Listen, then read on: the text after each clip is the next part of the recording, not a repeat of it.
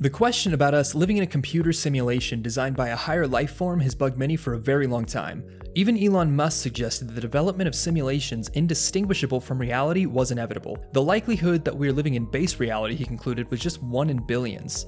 So, how likely is it that we're living in a computer simulation? If you're new to this channel, hit the thumbs up button, subscribe, and hit the bell icon so you don't miss another video on this channel. Many technologists and physicists believe that simulation theory will be proved just as it was proved that the Earth was not the center of the universe.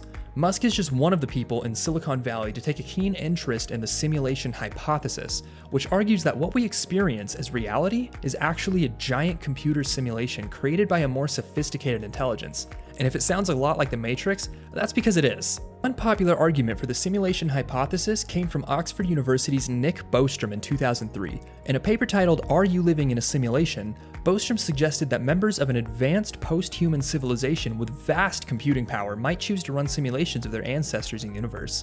This argument is extrapolated from observing current trends in technology, including the rise of virtual reality and efforts to map the human brain. At the same time, video games are becoming more and more sophisticated, and in the future, we'll be able to have simulations of conscious entities inside them.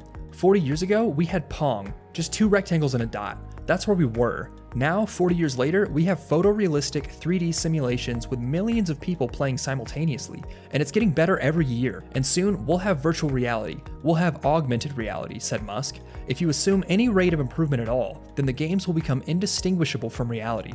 Richard J. Terrile believes that recognizing that we're probably living in a simulation is as game changing as Copernicus realizing that the Earth was not the center of the universe. It was such a profound idea that it wasn't even thought of as an assumption, he said.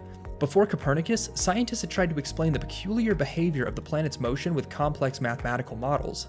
When they dropped the assumption, everything else became much simpler to understand. Everyone is so convinced by the hypothesis. In order to make the argument in the first place, we need to know what the fundamental laws of physics are where the simulations are being made. And if we are in a simulation, then we have no clue what the laws of physics are, as the physics we know would just be the simulated laws of physics. And just in case it's been weighing on your mind, you can relax now. A team of theoretical physicists from Oxford University in the UK has shown that life and reality cannot be merely simulations generated by a massive extraterrestrial computer. In a paper published in the journal Science Advances, Zohar Ringel and Dimitri Kovrizi show that constructing a computer simulation of a particular quantum phenomenon that occurs in metals is impossible, not just practically, but in principle discovered that the complexity of the simulation increased exponentially with the number of particles being simulated. If the complexity grew linearly with the number of particles being simulated, then doubling the number of particles would mean doubling the computing power required.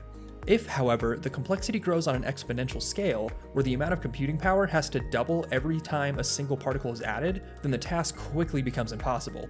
Researchers calculated that just storing information about a couple hundred electrons would require a computer memory that would physically require more atoms than exist in the universe. And given the physically impossible amount of computer grunt needed to store information for just one member of this subset, fears that we might be unknowingly living in some vast version of the Matrix can now be put to rest.